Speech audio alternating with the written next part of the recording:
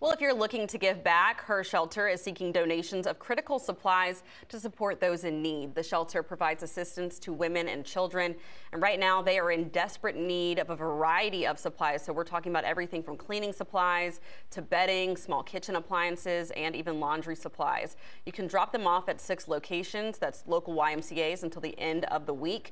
We'll get those locations up on wavy.com.